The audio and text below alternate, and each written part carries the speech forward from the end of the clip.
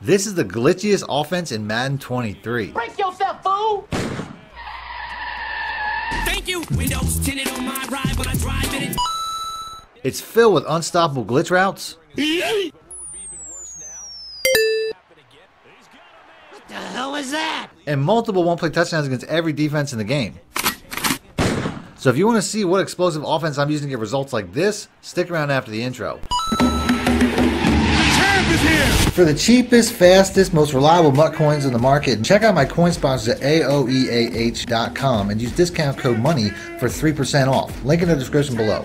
Welcome back, Money Team. This is Madden Moneyshot. Snip the Mad Cheese as always. Got a full breakdown of an offense that was probably my most used offense all year, and I realized I never put out put out a full breakdown of this actual offense. The offense itself is the gun stack Y Flex, originally found out of my New Orleans Saints offensive ebook, but also the basis of my Pittsburgh Steelers offensive ebook that I put out late in the year. I'll have links in the description for all those things and in the top pin comment if you guys want to check them out. But in today's video, I'm going to show you guys a full breakdown of just about every single play from this offense. A lot of these plays I never even used in gameplay. I just never needed them, to be honest with you. I really only used like five plays, but there's like 10 or more plays in this offense that really makes it one of the best offenses, in my opinion, the best offense in the game in Madden 23. And it'll probably be one of my first offenses that I put out in Madden 24, so you might as well get used to it because I did play Madden 24 for about a week and a half and they didn't touch it at all. They didn't they didn't patch it, they didn't nerf it, nothing. So I'm gonna begin the video. If you guys want to see more videos like this, as always, please make sure to be a subscriber, hit the like button, let me know in the comment section, and that's it. Let's get right into the video. Next up out of the Stack Y Flex, we have the Drive H wheel.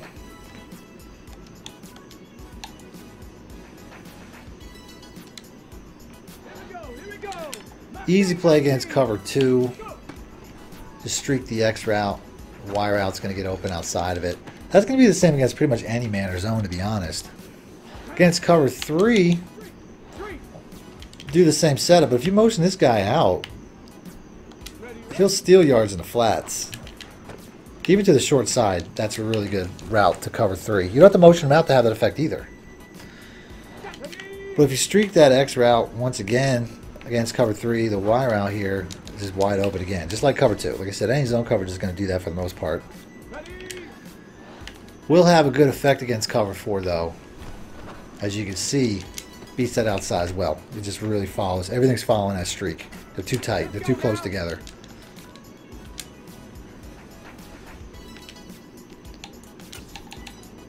And then cover four drop.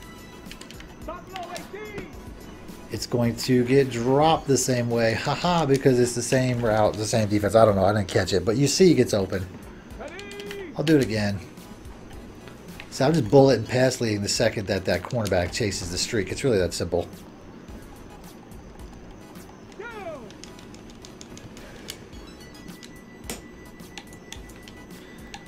And it'll do the same against any man coverage. We'll do cover two man. Just because, but it's going to work the same way. Cover two man is probably the best man coverage to cover this round. it still doesn't cover it. So covers just beats about any defense, any defense in the game. When it comes to the drive H wheel running back, you can really throw a quick out to the running back and get a very big play.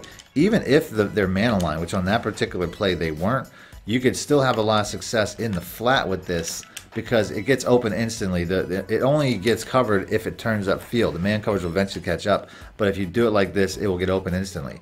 You also have the X route out here, which can get open as well, although that one is a little less um, obvious and it's not necessarily a guarantee. As you can see, the cornerback here, you really have to wait for him to get outside the cornerback. The speed out route can be a very good route against man, but like I said, it's a little bit iffy. It really depends on who he's going against. And then obviously the running back works every single time. Like I said right there, sometimes if he doesn't bite, he can break on that and be a problem. So to me, the best route on this play is easily the running back to take against man coverage because you can see, I mean, even like I said, even if he's man aligned, I do it a million times online he does not get covered if you throw it instantly. You have to throw it right away, almost like you're pitching it out, and not before he before he crosses the line of scrimmage. To be honest with you, you can see right here, you get some really big plays, especially if the user forgets to cover the running back, which a lot of people do. Next up, we got the fade out.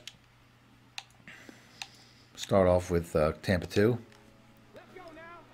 I'll move this ball to the open side of the field here. This play here, if you don't want to make any motions with the running back, you can just put the X route on a streak and you will have an opportunity to the Y route, although it's not going to be as big an opportunity if you motion out the running back. As you can see, I can make that play. But if I motion in the running back, if I put him on a streak, motion him over twice, motion him to the left, and then motion him to the line, you'll notice that it changes how the cornerback reacts. I also find it's best to put the X route here on just a five yard out route. And that, that cornerback will drop down a lot quicker, giving you a much bigger catch and run opportunity outside. Now there, went out of bounds a little bit, but this is very easily capable of a one play touchdown. I don't think you even have to, to change the X route to be honest. I just feel like that's probably the better way to go. But you can see here I can pass lead inside a little bit more. Maybe if I had Quez Watkins running that, that might have been a touchdown. But uh, but there's definitely um, more opportunity if you run the play this way. I'm pretty sure I could probably throw to the RB route too, but I'd much rather throw outside. I said I could probably get it right over the middle there to the running back as long as they don't have a deep middle safety, which a lot of people will make that adjustment. Also has success against cover three. So we'll go ahead and we'll pick fade out again, cover three. Against cover three, though, we're just going to put him on a um, on a comeback route. That's all you got to do. Run from a hash mark once again, because once he gets to this point, you have to bullet and pass lead outside. And that's also very capable of a one-play touchdown. I'll go to the replay Just show you what to look for. Because you're really just watching for the cornerback to react to react to this route, which he's just basically pulling him inside. I mean, you can see the, the receiver doesn't really, really get past him. He just gets outside of him, and then you can bullet and pass lead away to get that separation.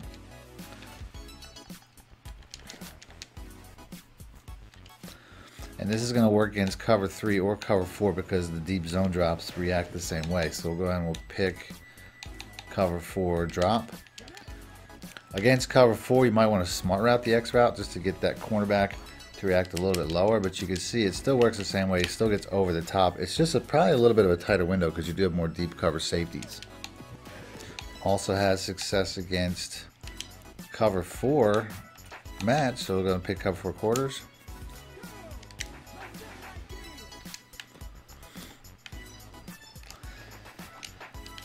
Same setup, you can see it still reacts similarly and you can still drop it in the, in the bucket there. Next up, we'll choose that play again. This time we'll choose uh, we'll choose some man coverages. We'll start off with the Overstorm Brave. This here, I find putting them on a streak or putting them on a fade um, can have this exact same success. As you can see, the uh, the receivers cross up the defensive backs once again, which is something that happens in a lot of plays in this formation.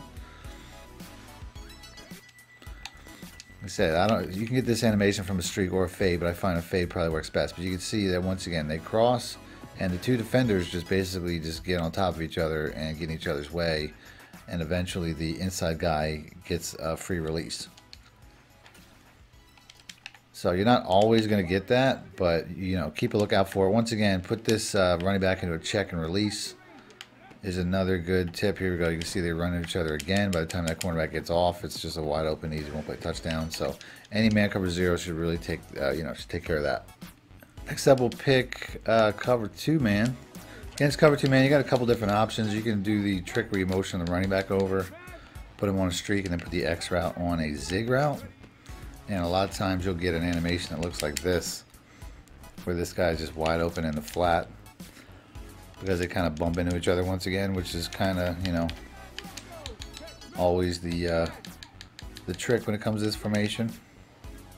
But I'll do that again, just to show you that it's not uh, it's not a fluke. They get each other's way, and you get a get a big play that way.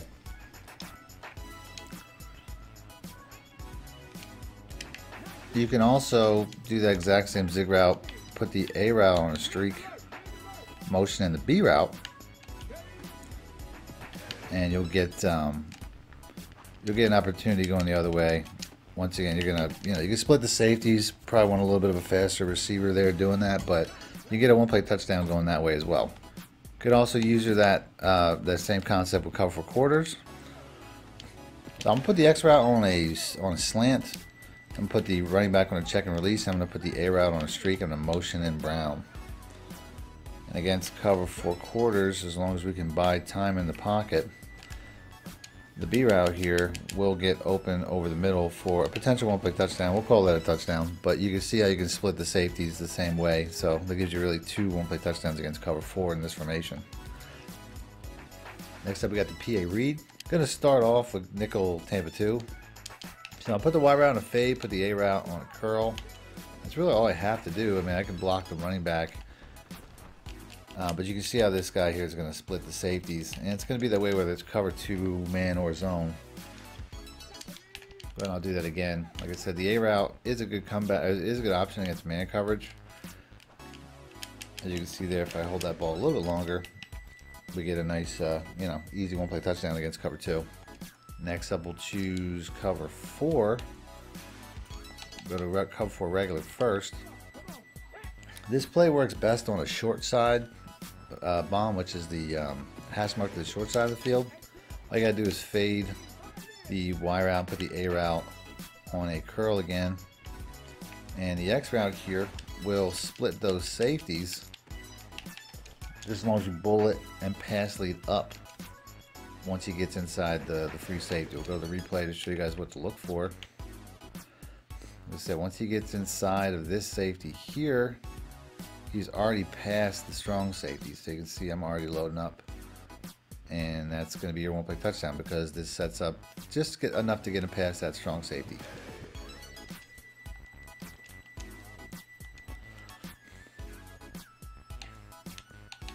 Works against cover four match even better. We're going to pick that. Same setup. And we're going to get um, another, you know, this one here, we're going to get even more separation. As you can see, he just, for whatever reason, the, the both the cornerback and the safety chase that fade. Go to replay one more time. This fade route gets all the attention from both guys, leaving this guy just streaking wide open over the middle. I guess they expect the safety to rotate over to pick him up, but there's just nothing but separation here.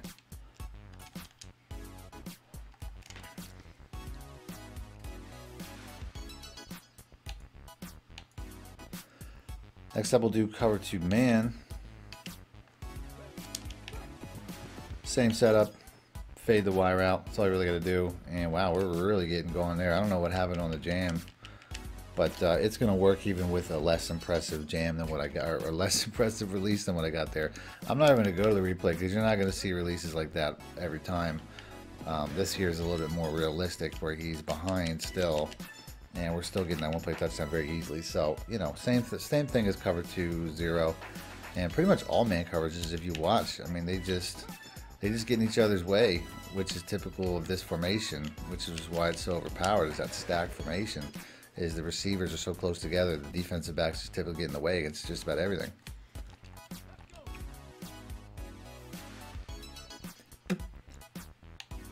Also works against man zero. Same setup. Anytime the routes intersect like this, the way that the, the, they're basically just running on top of each other, you're going to get this look and you're going to get separation.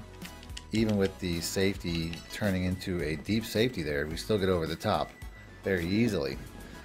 You can keep that safety away just by checking and release the running back one more time. As I messed everything up here. Then we'll do that again. I don't know what's going on. I'm messing everything up. Like I said, check and release the running back.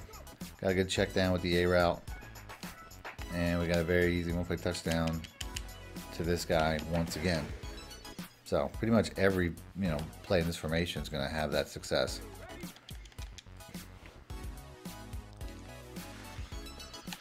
Also choose cover one man. Same thing, I'm gonna block the running back, but same thing, fade the Y route. And we're gonna have similar success to the outside, although you can see, I mean, a little more speed would be nice. This isn't necessarily gonna be as uh, as simple, but if you get a good, you know, like right here, they're getting each other's way, get that pass lead outside, very easy one play touchdown against cover one man, just as long as those cornerbacks bump into each other enough. Might be able to get that same success with the, um, I don't know what I did there.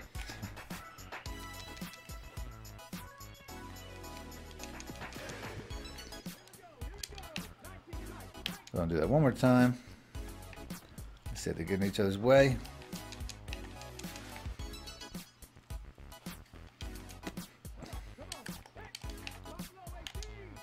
I'll do that one more time. Like I said, there they're getting each other's way. I know I got myself a big play. And, you know, I, I probably could have held that a, a, second longer. Might have been a better thing, a better way to go. We put the A route, if you want to get rid of your check down, you can always put the A route on a streak. You can put the B route on that zig. Just to try to pull that safety over as much as possible because he's really the only guy that can come in the way once this receiver gets deep. Next up we have the corner strike. Against cover three, the corner strike, uh, if you just streak the Y route here, will get open outside very easily. It's a very similar formation uh, effect. It's a formations effect, not necessarily anything else. As you can see, I mean, it just doesn't cover that very well. And I'm not really, I don't know, I'm not getting the best throws. It's almost pulling me out of bounds. But you can see we can have that effect over and over. Also has that effect against cover four.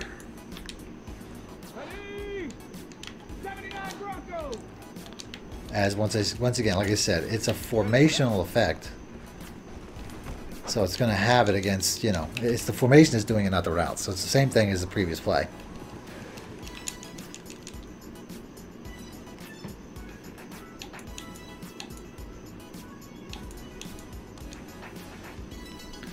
Also has success against man. Same setup. And he's just whiffing.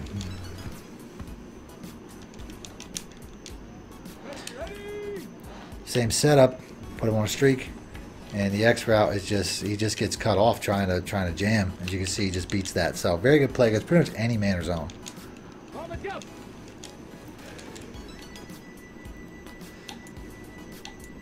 That includes cover two. We're going to pick cover two sink.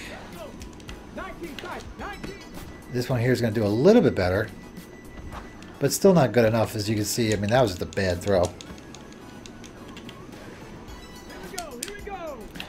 Cover 2 zone is going to do a little bit better, but it's still not going to do good enough because it still angles to the weak area of the field. You got to safe catch if I'm not, if you're not getting lower throws like I'm not. A little bit better accuracy or better quarterback would work very well. Then there's man coverage. Cover one robber. It's going to show it has the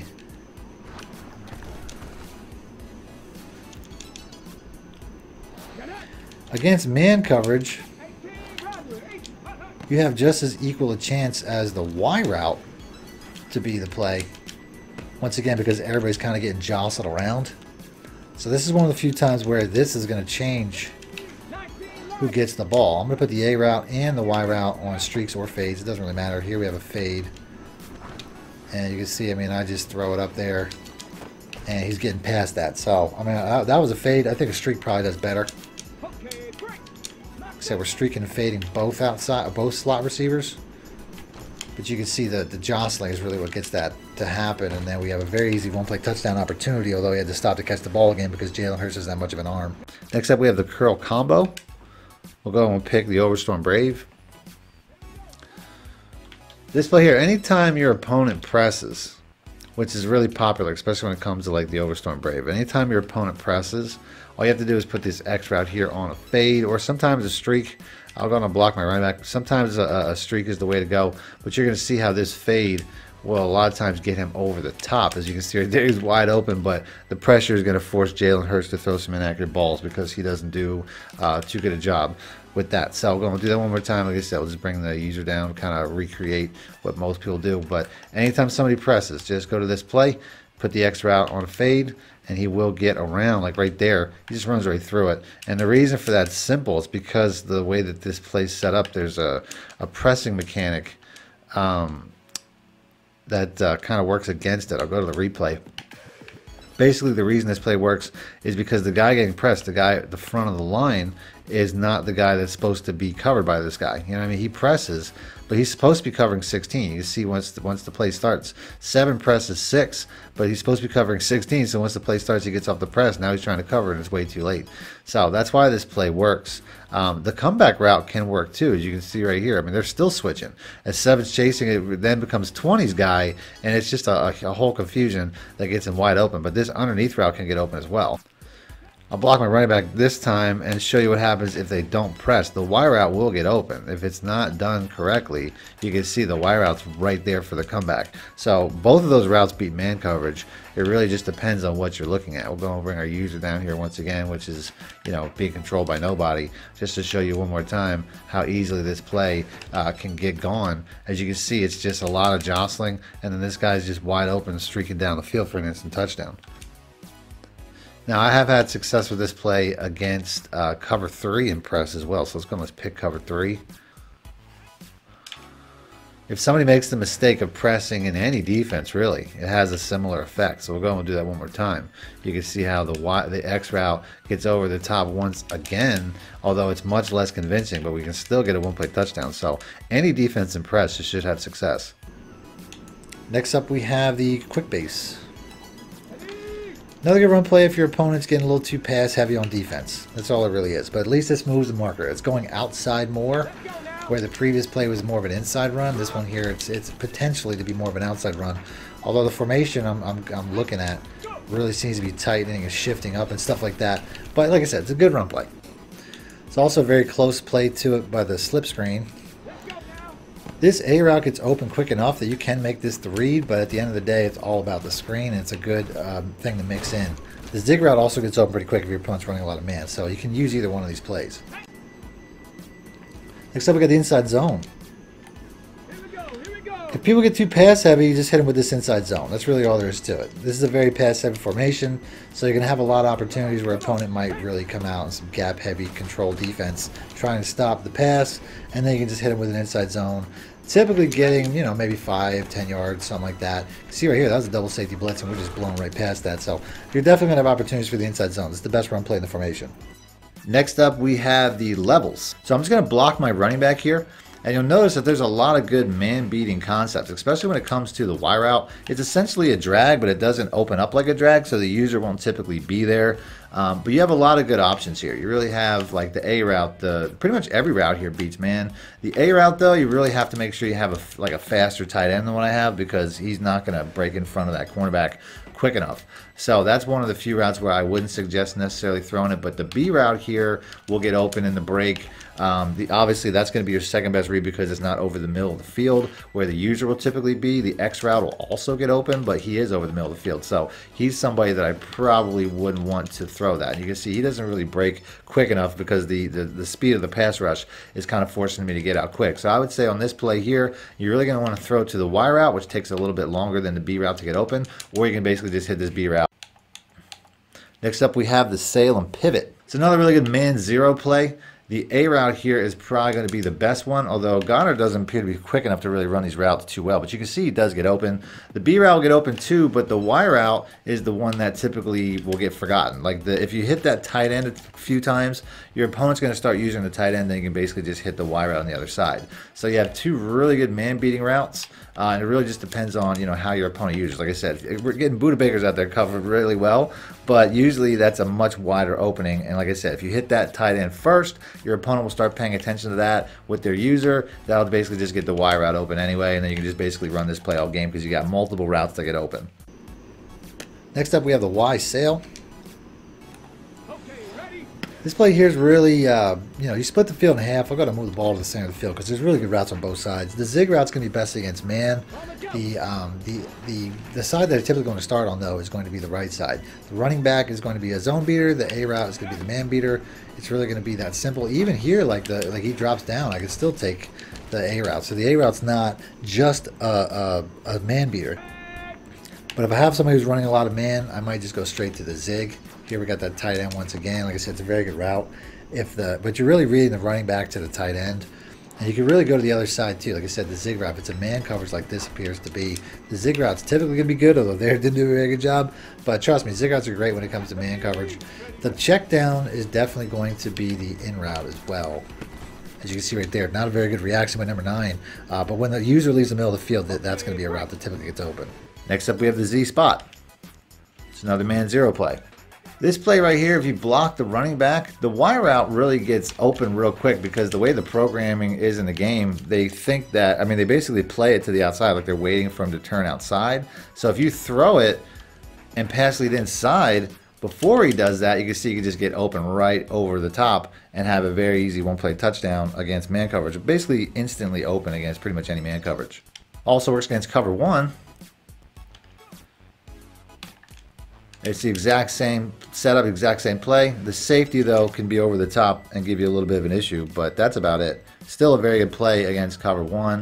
Like I said, you're really just using the programming against itself as you bullet and pass lead inside. Like I said, you can get him up play touchdown if I can make this guy miss. That's the only thing, but otherwise, it's a very good play. Need more help or just want to show your support? Then head over to my Patreon and join my team, where you can get exclusive content like ebooks and bonus plays, as well as early access to my vids and more. Link in the description below.